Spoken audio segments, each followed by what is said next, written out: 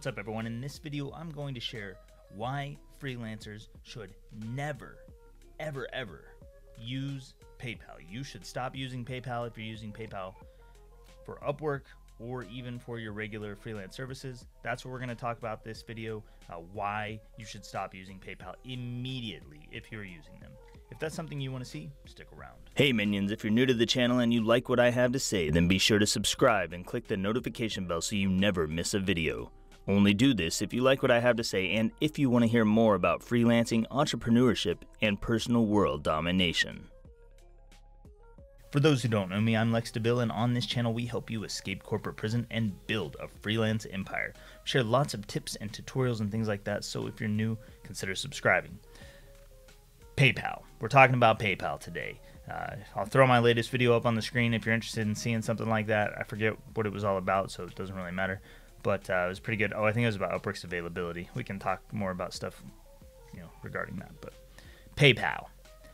Never use PayPal. Freelancers need to quit using PayPal immediately. And this kind of is probably going to sound a little bit like a rant. In some ways, I guess it is. Um, I don't think that you should quit using PayPal just because I quit, but I did quit, and I want to share a little bit about my recent experiences with PayPal. So, I have been a PayPal customer for the last almost 20 years. So, nearly 20 years of using PayPal, of sending funds back and forth, of uh, giving, paying them fees for different services, and uh, all of that stuff, all of the things that comes with using PayPal. And I bill clients through PayPal, I've invoiced through PayPal, use them numerous times. Just within the past year and a half or so, maybe even just the past six months, we have started to have enormous problems with PayPal. And those problems included uh, PayPal putting freezing my account at a moment's notice without warning, not letting me have access to the funds in that account, just holding my funds with the intent to take those funds because that's what PayPal does. They have a history of taking money from people and not giving it back. And there's no regulation surrounding PayPal as far as I'm as far as I understand. You don't have the same protections as like you might have with a bank. If you have any protections with a bank, I don't really know. But what I do know is that numerous people have had their accounts frozen uh, without warning for sometimes violations of PayPal's policies and other times for not violations of any uh, kind. And PayPal just doesn't respond. They just freeze the account, take the money, maybe even ban you in some instances. And I know of some people who this has happened to that had thriving businesses running and operating through PayPal, and PayPal just froze their accounts, took their money, all of the money that was in there, just kept it for themselves. Uh, that's what happened to me almost. My account was frozen. Uh, I had to go through a plethora of different initiatives to to verify to PayPal what this transaction was, and this one, and this one, and this one, and these were all legitimate, normal transactions. They were all uh, clients being billed, clients who had previously paid me, and I had to go through and explain what was done. I had to send proof that I had delivered services, even though the client was happy. The client didn't open any disputes or anything. There was nothing. There was nothing going on in my account. PayPal just said, "Oh, you know what? We we think that you need to be put on hold because you're billing whatever amounts." So they made me do all these verifications. I did the verifications. Their system wouldn't let me submit because their system regularly regularly breaks. PayPal's system is broke. Their shit does not work most of the time. And I can even put examples of that up on the screen maybe if I can if I can dig through my files and find them. I'll put them on the screen. Showing that I was trying to submit stuff, submit documentation, their system wouldn't let me. And eventually I got some of it submitted. They came back, said, We need more information. So I submitted that. They wanted more information. Eventually I got on a phone call with them. They wanted more information. I, it was back and forth. And I just had to keep sending them stuff and sending them and sending them.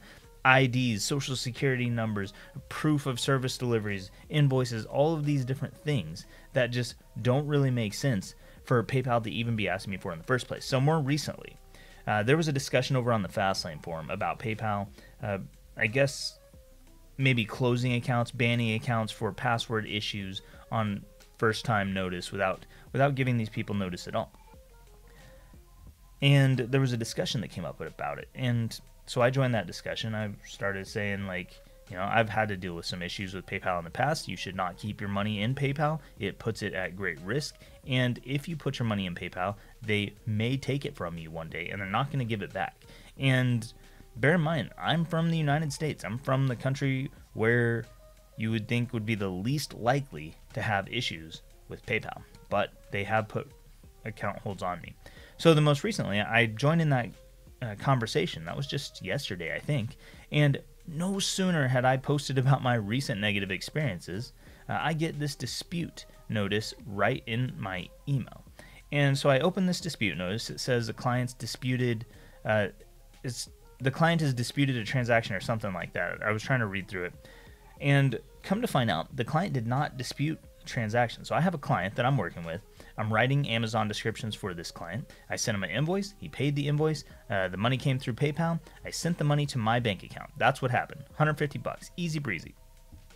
And this is not our first transaction together. It's our, our second transaction. So we've already had one that's completed just fine, and I delivered the services totally fine. This one, something happened. And something happened from the, the client's side where their bank said, eh, something isn't right about this. I don't know. They just they didn't like the transaction for whatever reason. I don't know why, but they either stopped payment or put a hold on. I don't know what they did with the payment. All I know is that this caused PayPal to open a dispute for our transaction.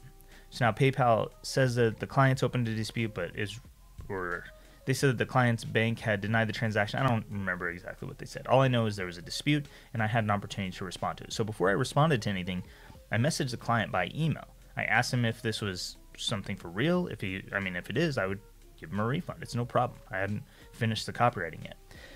Uh, the client said it's not. It was an accident. He doesn't know what happened, and so he's checking into it from his end. So we know that the client doesn't have a problem, and I don't have a problem. I've already been paid the client has already taken care of his stuff. It's just PayPal that has a problem now.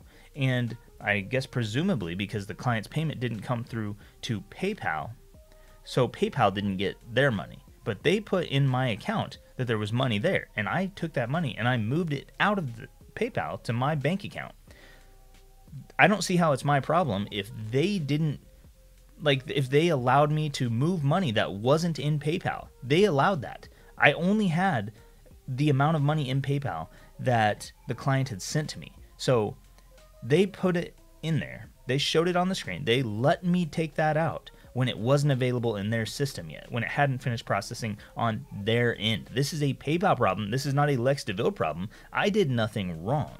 And yet, disputes open, my account's on hold, and I'm not allowed to take certain actions within my account. So now that I know that the client doesn't have a problem and I don't have a problem, I respond to the dispute. I say the client says he doesn't have a problem, and PayPal's asking me for proof that I've delivered the services if I want to be eligible for seller protection. But I say I don't have that proof because I haven't delivered the services because we're still working together. This is a transaction in progress that you're disrupting. And so I responded that way. All right, so now I come back into my account a little bit later and I find a negative balance. I've got a negative balance for the $150. It said like 144, whatever it was, minus the fee, PayPal fees. So negative balance on my end now. And I click the little arrow highlight thingy and it says if I don't pay PayPal back this money, then they will send me to collections. That's what they said. So they go straight to collections. They're threatening collections whenever it's not even been a day. It's the same day. They're threatening me with collections if I don't pay them back. A customer of 20 fucking years. They're threatening me with collections. And then, uh, because I didn't submit proof that I had delivered these services, because we're in progress, we're still working together, PayPal adds a $15 charge. So they charge me for the dispute that they opened for something that is undisputed. The client's not disputing anything. I'm not disputing anything. Only PayPal is disputing something. Now they charge me $15 for this dispute. Presumably, they charge the client $15 too. I'm not sure if they did that or not, but I got billed $15. So now I'm paying PayPal for something that was never a problem on my end and that I've done nothing wrong. They're demanding payment from me and threatening me with collections. So now I go in and I try to like I moved money into PayPal. I said, "Fuck you, PayPal. I'm done with this shit." I moved money from my bank account into PayPal, paid the $15 fee, whatever. And then I went to close my PayPal account, which you can see here on the screen. Try to close it. There's an error. And there's an error because now PayPal says, you know what? Before you close your account, you need to be able, you need to go in and cancel all of your recurring subscriptions. You need to cancel all of your uh, billings, your recurring billings, all of those things. You need to go do that. Now, here's what I know PayPal has banned other people who 100% for sure had recurring billings and recurring subscriptions, and they banned them. They did not make those people, they didn't say, hey, you need to go cancel these things one at a time, one by one, before we can ban you. They didn't do that. So we know for a fact that they have the fucking power to, to end these subscriptions from their end. They can do it just fine. It's no problem. They can do it.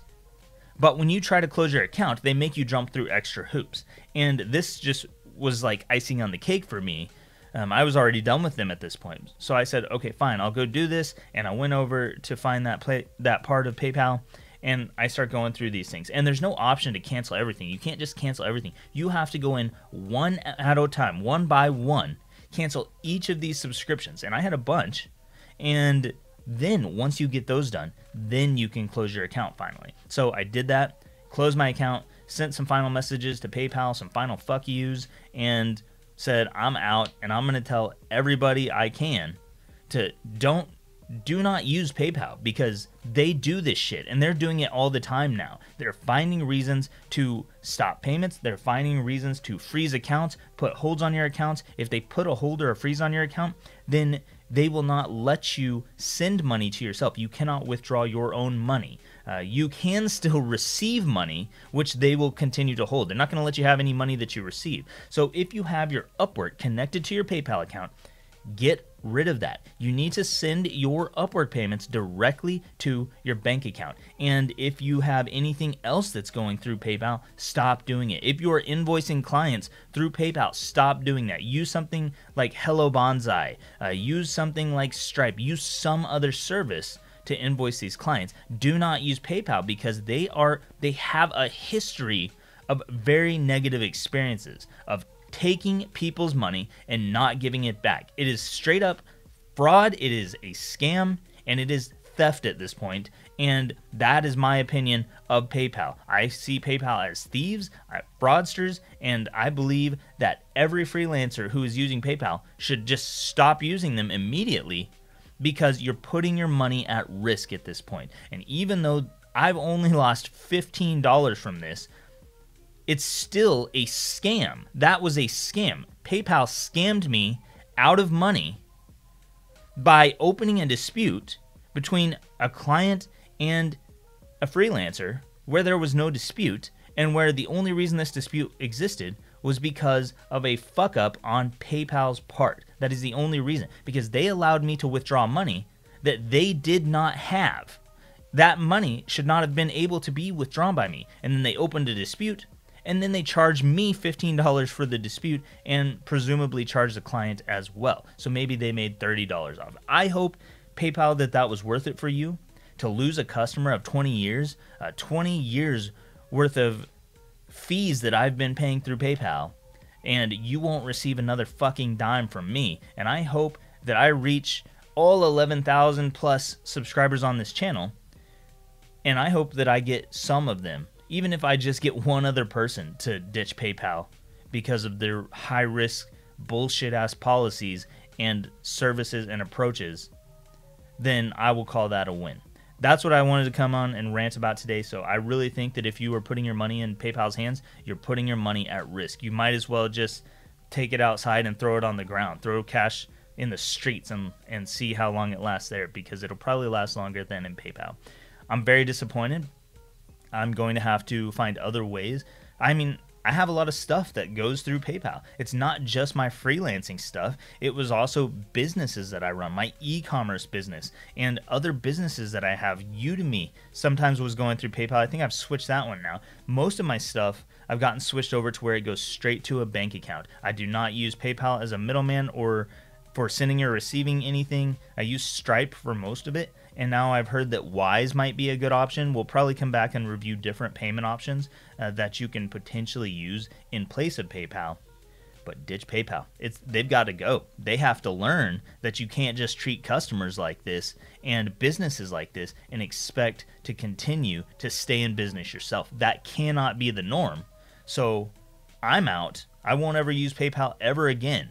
Not for sending, not for receiving. They will not get a dime from me. I hope that this message will get through to some of you and that if you have a PayPal account, you will also close that account and move your money elsewhere. Uh, take your money elsewhere, somewhere safe, or even just straight to your bank account and avoid these problems. That's all I've got for this episode. Let me know in a comment down below. Have you had a really negative PayPal experience? Uh, I've had a couple of them now, and I'm done with it. I know a lot of people who have had really bad experiences with PayPal.